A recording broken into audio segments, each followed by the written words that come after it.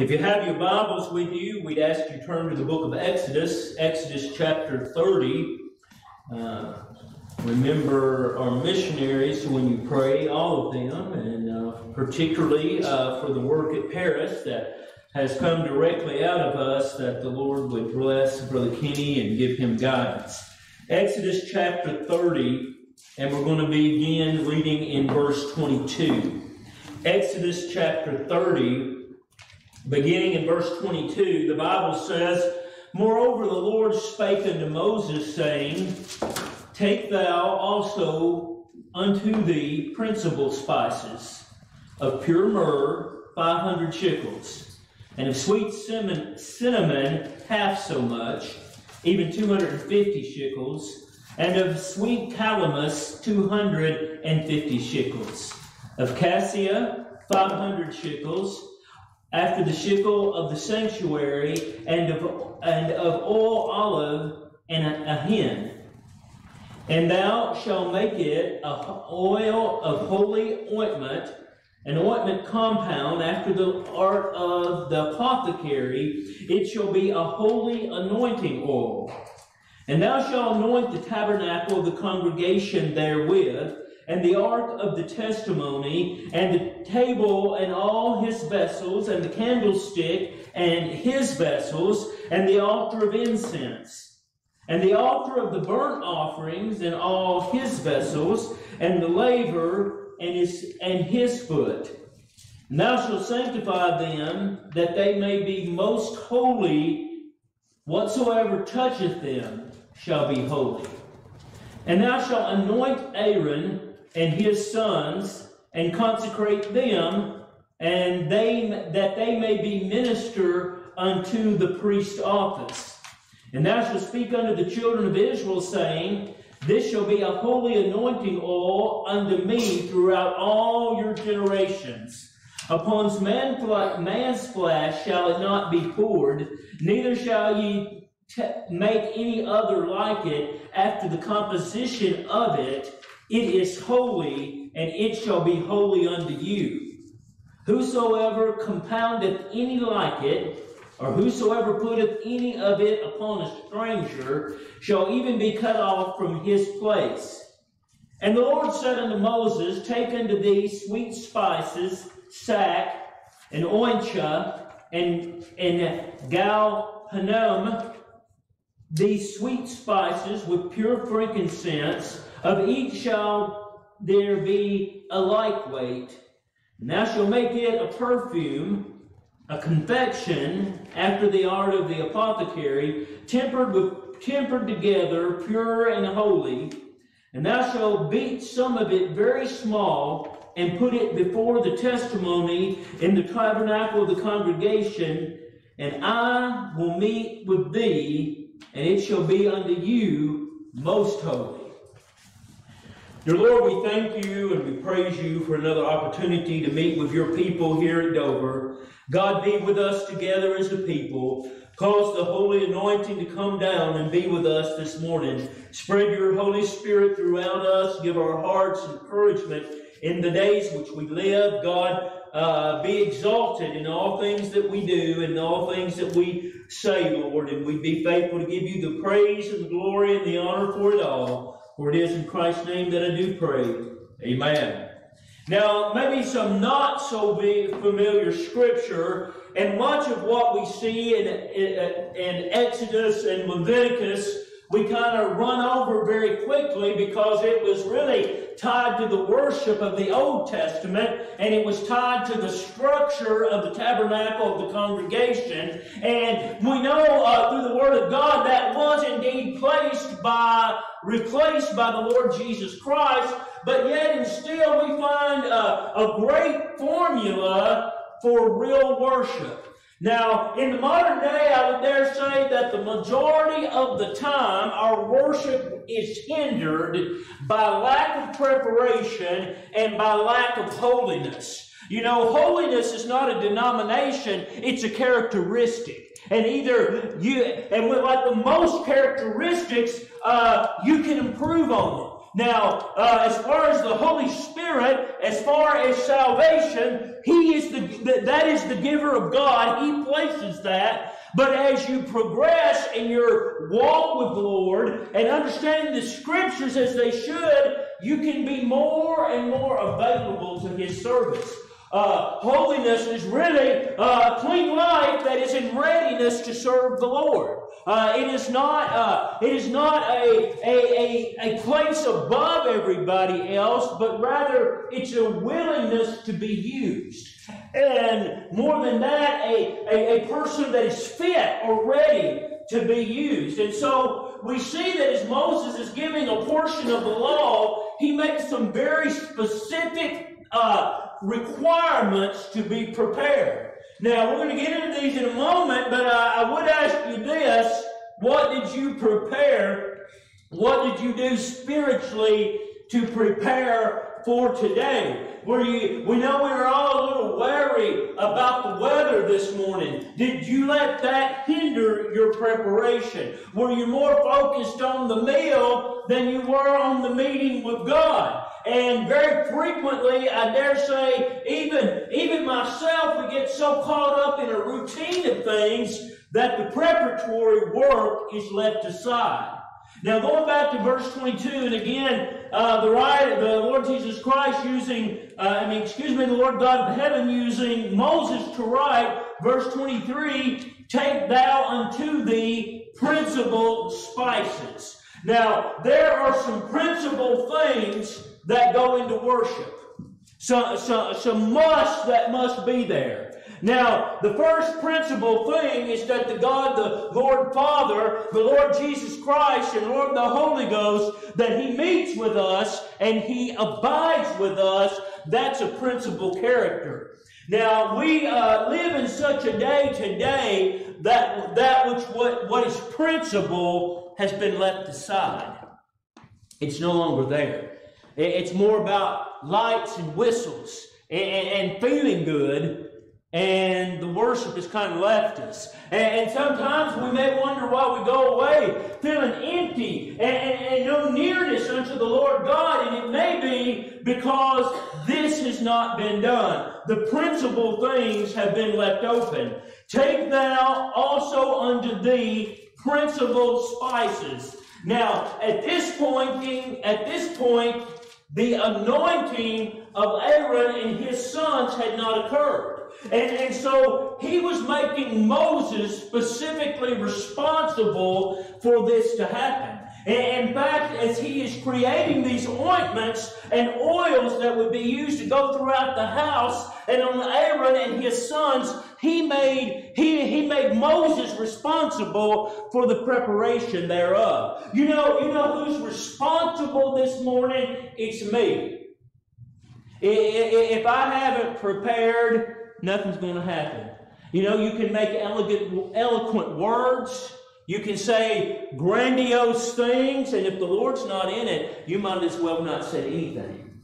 And, and so we find that the, the liability fell completely on Moses. And we, as God, as men of God, Jared, if you ever called the pastor again, listen, the responsibility is on you. Uh, you have to be prepared to do this. And so Moses was given specifically uh, the job of preparing these things and putting them together. Take thou also unto thee principal spices of pure myrrh, and just as on an aside note, that was one of the uh, spices brought at the time of the Lord Jesus Christ when the when the men from the east came. Take thou also unto thee principal spices of pure myrrh, 500 shekels. Now, I've seen different descriptions of six shekels of, as far as that is in our weight system, but some people said it's as big as a peck, which is an eighth of, uh, which is uh, about an eighth of a bushel. So this was no small amount of ointment. Then I've also heard, in a weight sense, it's like uh, two to three pounds. Uh, it was a lot of work. Now, I am no cook whatsoever, but uh, Donna loves to make bread, and I know when she's working it, It, it, it, takes effort, and sometimes her elbows hurt, sometimes her hands hurt. It, it takes effort. But can you imagine to take something like a candle and, and get it down to a point that it's pliable? That's kind of work it takes in. And if we want to meet with the Lord, that's the kind of effort it's going to take.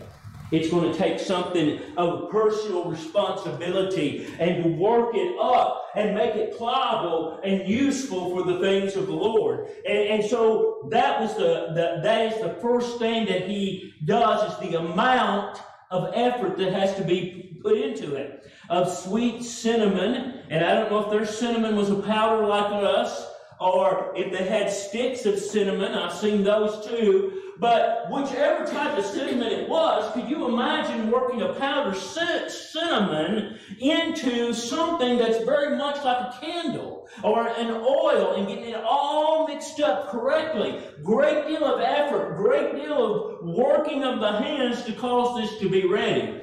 And of calamus, which I have no idea for sure what that one is, 250 shekels. So he has this huge, maybe as much as 10 or 15 pounds uh, of stuff that he is working together just in the preparation. It's not putting the temple together. It's not putting the sockets and the curtains into place. It is just preparing so he'll have something to rub about.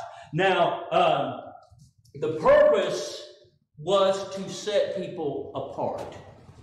When he came and he anointed the sons of Aaron, that was just to set them apart.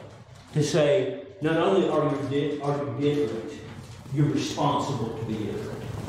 And that's what it is in the modern day. You know, you know why churches are so weak and feeble in the modern age? We don't take that anointing seriously. We don't take it on as a responsibility.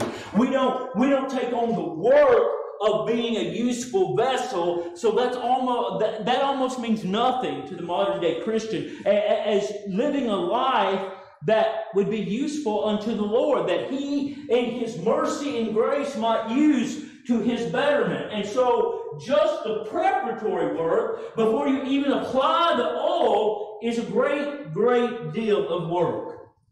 Verse 24, and if cassia, 500 shekels. There goes another, could be as much as two pounds. And of the and the shekel of the sanctuary, and after the shekel of the sanctuary, and of olive oil, a hin, which I think is about uh, uh, a gallon in, in, in English measurements, all of it now working together. A huge thing that, that Moses became responsible for, and he did not chide the responsibility. Now, I don't know about you, but I don't like the feel of oil on my on my hands. I don't like that greasy feeling. And I'm very quickly to get it, try to get it washed off if I'm doing something with oil. And we see that Moses is working and working, and, and every time maybe he thinks he's got it mixed, it's time to dump in another ingredient. Uh, you know, when you think you've got everything by the tail, dump in another ingredient. Add you some more prayer. Add, you some more thought about the loss. Add, think of something that you could do down here at the house of God. If it's nothing more than washing windows, do something else. So ingredient after ingredient after ing- ingredient, and uh, Moses is all working it uh, together. Verse 26 And thou shalt anoint the tabernacle of the congregation therewith, and the ark of the testimony. Now, uh, they were to go around, and, and you would think how crazy this would look today. And once, once he got all that mixed up, to go around and begin just to simply rub that oil that he worked so hard on on the walls around the sanctuary. Now, what that was a type of, what that was a looking toward, is that the Lord might fill the house. Uh, oil always a type of the Holy Spirit, the Holy Ghost, and a hopeful, a hopeful statement that maybe God will show up. Uh, you know what? This is, I guess, if there's a good thing about the Lord not showing up, it makes us blessed when He does. And so it was just a hopeful thing. All that preparation, all that hard work in kneading and in and mixing, and it, it, was just a little preparatory thing, and then coming down to the table and, and anointing it and make sure it's uh, in good sh- in good shape. Uh, you know, you can often think about it like this. You know, I don't know much about good wood and bad wood. I know these pews are oak and it has to be taken care of. But I do know this they use a thing called linseed oil in, in taking care of expensive furniture. And you know what it does? It sucks it up.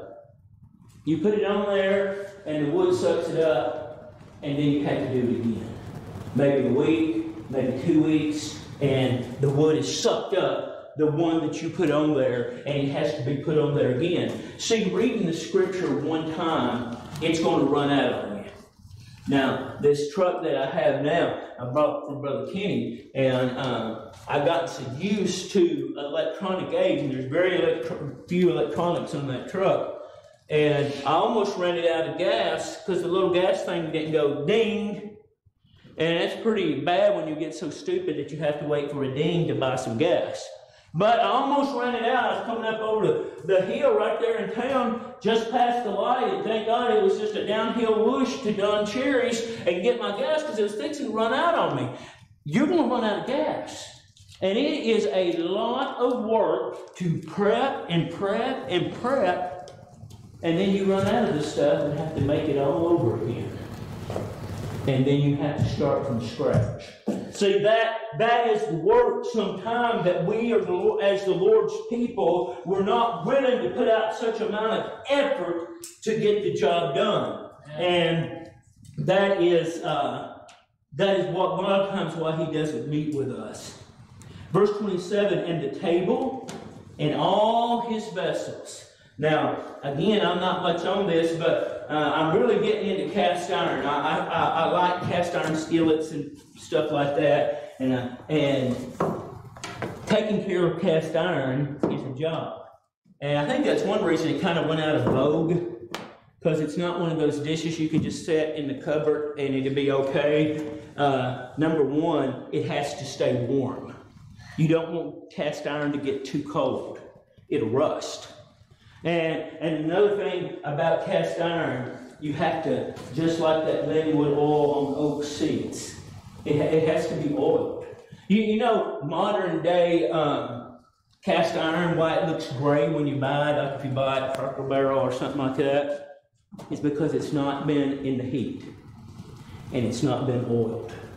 And if you want one real black, like the skillets we got down in the basement, they have to be exposed to heat. And once they're exposed to heat, you don't wash them off like you do, uh, uh, you know, Cornwell china. You simply wipe it down and put it back in the oven. You leave the oil on. And as time goes by, it will cook that oil down into the metal and turn just as black as the ace of spades. And that's what he was doing.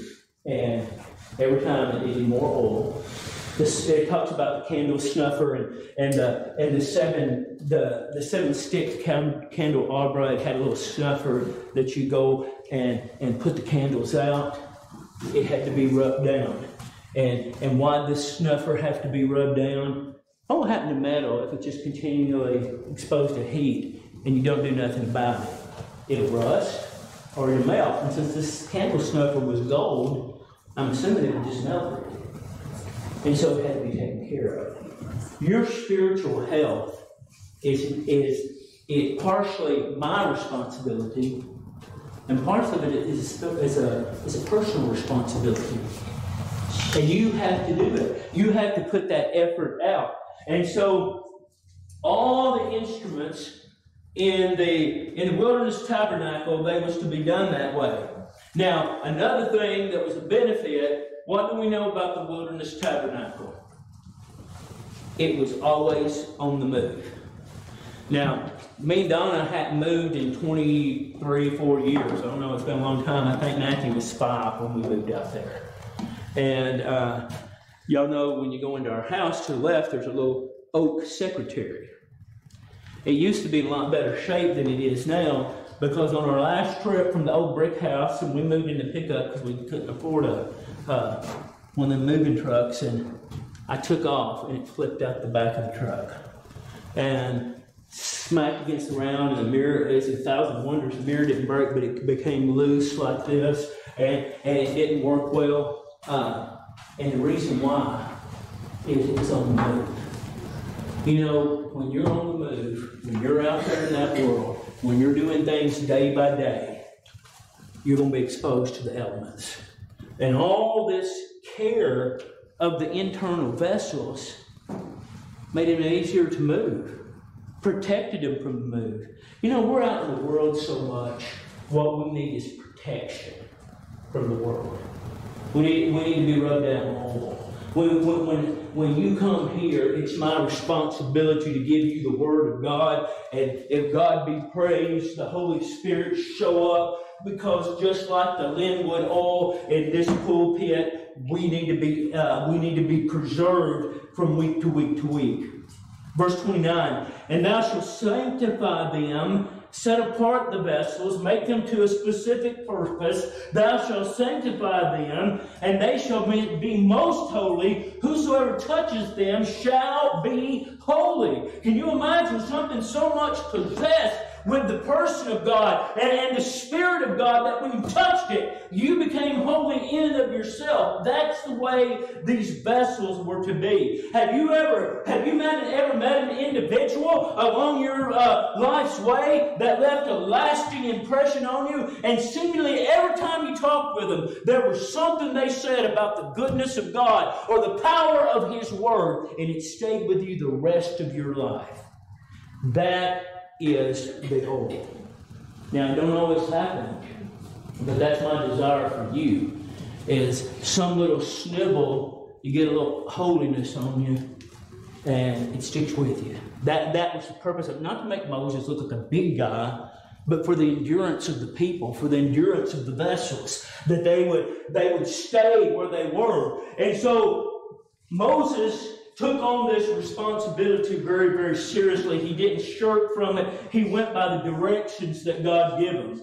And thou shalt sanctify them, and they shall be most holy. Whosoever toucheth them shall be holy. And thou shalt anoint Aaron and his sons, and consecrate them, or set them apart, that they may minister unto me in the priest office. So if they didn't have the all, they couldn't minister. You know what? We're fixing uh, to be uh, ordaining a man out of this church, and listen, if he don't have the all, we don't need to do it. If he doesn't have a proving uh, of who he is and what he believes, listen, we don't need to lie hands on him. This is, you know, it's a very serious thing, and I feel comfortable with Kenny. I'm not saying that, but I am saying this is a serious thing.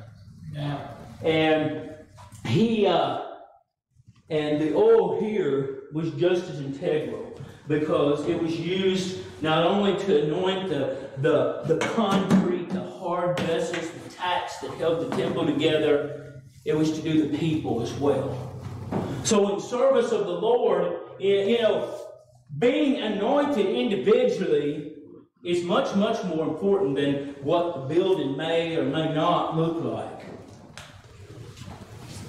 Verse 31. And thou shalt speak unto the children of Israel, saying, This shall be a holy anointing oil unto me throughout your generations. They weren't to give it up. They weren't to lose the recipe. They wasn't to forget where it was at. Verse 32, Upon man's flesh shall it not be poured, neither shall you make any other like it after the composition of it. It is holy, and it shall be holy unto you. Verse 33 Whosoever compoundeth any like it, or so, whosoever putteth it on upon a stranger shall be even cut off from his people. Now, I want you to see that there was going to be individuals, and the Lord God knew it, and He told Moses, there's going to be people put out a fake ointment. There's going to be put out, people put out there that something similar, but it's not the real deal. Uh, you know what? There's a lot of things going out here under the name of the Holy Ghost, the anointing oil, that is not the real deal. And you know, some of it probably smells better and looks better, than the plain old stuff that we're supposed to have. You know what? We as Baptist people, we should never, we should never deny the existence of the Holy Ghost. We should never deny the, the moving of the Holy Ghost, the convicting of the Holy Ghost. We should never do that. That's how the Lord God speaks to us today. But at the same time, listen, He doesn't do, uh, the Holy Ghost doesn't make you flop on the floor like an idiot, and it doesn't make you have a rock concert down at the Lord's house. That is a fake. It is not the oil that He promised. And we as the Lord's people, we don't need to pick up that fake stuff. We need to, you know, as difficult as it is, we need to keep with what we have and uh, not change the formula. Don't make a fake. Don't don't do something simply because you know it will draw a crowd. Verse 34. And the Lord said unto Moses, Take unto thee sweet spices, brand new formula, brand new thing. Take unto thee sweet spices, stacks, onycha, and galbanum, these sweet spices with pure frankincense, of each shall you be a light weight, so all even, all mixed together. And thou shalt make it a perfume, a confection after the art of the apothecary, tempered together pure and holy, and thou shalt beat some of it very small now, you know, one thing that we don't like to think about is being beat down small. Now, but if, if we're going to be useful to the things of God, we got to beat things down real small. We got to be willing to do whatever. We're, we got to be willing to endure whatever. And, and, see what you do when you endure sickness, uh, illness, or when you endure hard times financially. When you come out on the other side, it is a testimony to others. But now this is how it will work, though. If you don't stick with God, if you don't, if you give up and say, "Well, forget about it," because God's not really in it anyway you will do the opposite. You will take from the name of the Lord Jesus Christ. You will diminish who He is. And so He says here, uh, give it to the apothecary and let it and let him beat it down real, real good into just the smallest thing you can think of. And thus beat some of it very small and put it before the testimony in the congregation, in the tabernacle of the congregation. There I will meet with thee.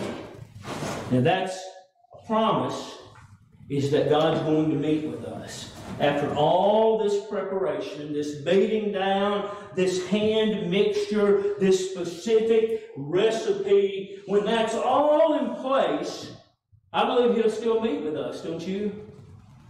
I, I believe that He'll still come down. He has a promise to us where two or three are gathered together there in my name, there shall I be in the midst. And if we do this hard work on the front end, I believe God will meet with us. And when we don't, when we fail to, when we're distracting, listen, He's not going to. And so that formula must be followed very carefully, and then He will meet with us. It shall be unto thee most holy. Now, is coming here most holy to you? Is coming here, um, is your purpose for coming here is to meet with the Lord? Is your purpose for coming here to worship? Because really all, all our preparation really depends on this. Why are we coming to start with? Verse 37. And as for the perfume, thou shalt take it, and as for, the, excuse me, the middle of uh, verse 36 is the promise that he's going to meet with us. Now go with me to 1 Corinthians. 1 Corinthians. And we see a very familiar, uh, a very similar promise in the New Testament to New Testament believers concerning the church. 1 Corinthians chapter 1 and verse 19. 1 Corinthians 1 and verse 19.